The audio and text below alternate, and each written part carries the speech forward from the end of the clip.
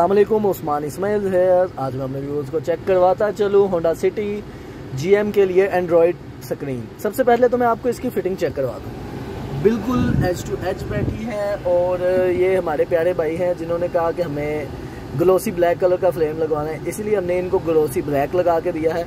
चले, आए अब हम आपको पैनल की बाकी स्पेसिफिकेशंस बताते चले।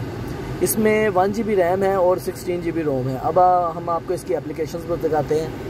इसमें बहुत से खूबसूरत से फीचर्स हैं। अगर आप ये एंड्रॉयड वाला आइकॉन यूज़ करते हैं तो ये आइकॉन एंड्रॉयड वाले शो होते हैं।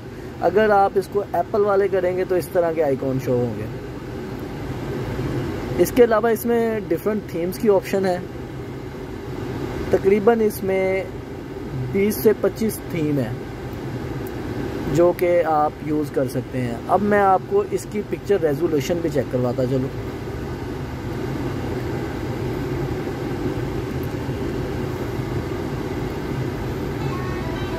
Full H D I P S display है आप इसको किसी भी एंगल से देखते हैं पिक्चर इसकी नेगेटिव नहीं होती और बहुत ही म्यारी और अच्छी साउंड क्वालिटी है इसकी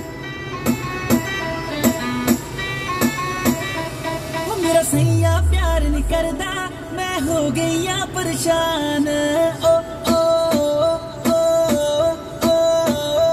ओ मेरा सैया प्यार नहीं